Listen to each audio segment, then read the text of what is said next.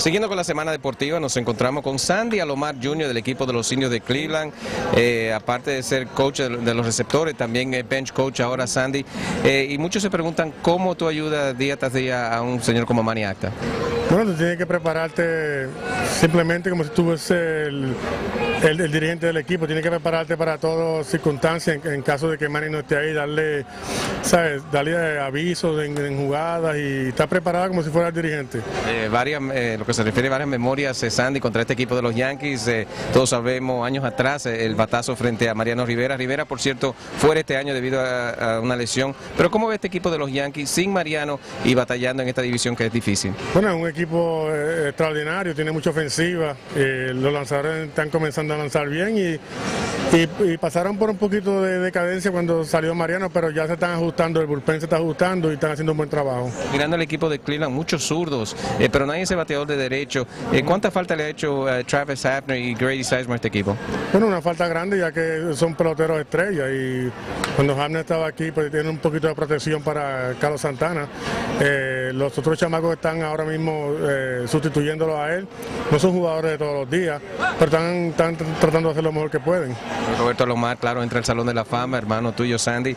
Eh, si nos puede decir un poquito de la emoción de, ver a Roberto en el Salón de la Fama. No, estamos muy contentos y muy orgullosos eh, de, que entrar al Salón de la Fama, saltado y para nosotros fue un tremendo orgullo estar ahí presente, algo que es increíble eh, y la Cooper está bien, bien excitante.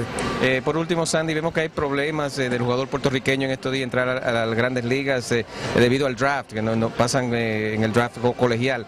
¿Qué se puede hacer para ayudar a esa situación en Puerto Rico? Bueno, hay mucho más entusiasmo en este, en este momento. Yo creo que las academias que se han abierto en Puerto Rico han ayudado bastante y la Academia Carlos Beltrán va a ser una, gran ayuda para, el futuro, para el, para el draft en, Puerto Rico. Mencionaste a Carlos Beltrán, ¿te impresiona lo que ha hecho con el equipo de los Cardenales? Definitivamente, cuando, es cuando está saludable es un excelente pelotero, de los mejores que hay en Grandes Ligas y hasta este momento está haciendo un tremendo trabajo. Eh, el equipo de los Tigres de Detroit es el gran favorito en esta división, pero Cleveland batallando también con los White Sox.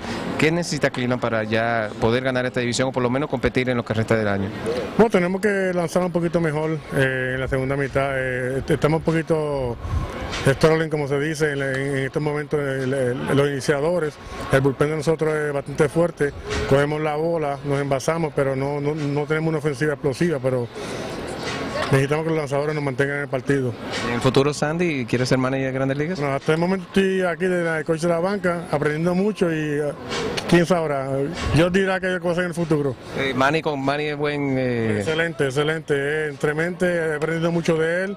Ha sido un desarrollador, escucha, entrenador, coach, dirigente en todas clases y es un excelente dirigente. Es buen profesor Manny Acta. Los micrófonos están abiertos para esa gran eh, comunidad latinoamericana que va a ver esta transmisión, Sandy. Pues muchas gracias por la entrevista y estoy muy orgulloso de ser puertorriqueño y estoy aquí representando a los latinos. Ahí está Sandy.